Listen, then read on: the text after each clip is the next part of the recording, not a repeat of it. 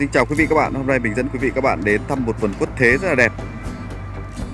Vườn này có số lượng cây rất là nhiều Tầm 4-500 cây. Cái quất thế này nó thuộc tầm trung.